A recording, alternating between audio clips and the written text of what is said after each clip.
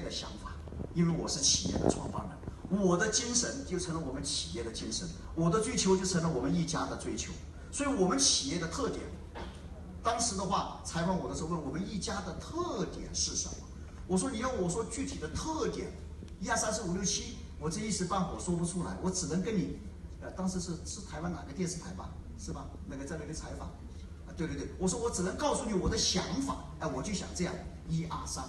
如果要说非要总结特点的话呢，我说它就是可能是跟别的不别人不一样的地方在哪里呢？第一，这个企业从创办之初就是为了要去行善的，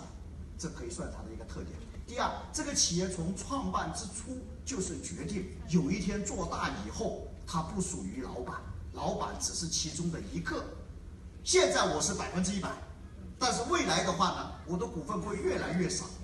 那么股东会越来越多，那最后这个企业的话变成了更多人了。我说这就是我们的特点，这也就是我们的第三大运作——资本运作。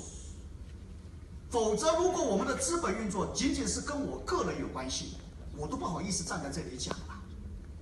你赚再多的钱是你个人的事情，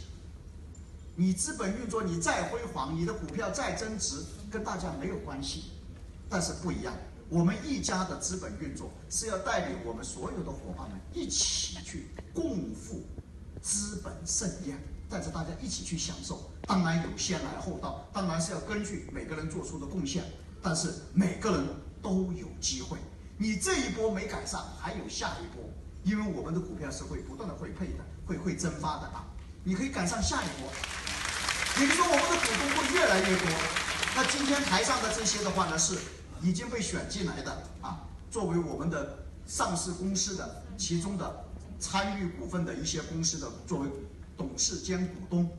啊，包括代持一部分的股票。那么已经是为大家做了一个最好的榜样，也是告诉了我们所有的伙伴们，这是我们一家的做法。到现在为止，包括我们我们的资本运作，我们的配股方案，这也是我们跟别人不一样的。我先掏出来的钱，我告诉我们的上市的团队，告诉他们啊，我们股票没出来之前，我不会收大家一分钱，我先垫，我个人垫，出来以后你愿买你再来买。我们不会去提前收大家任何一分钱，出来以后你愿买，我再转给你一块钱一股。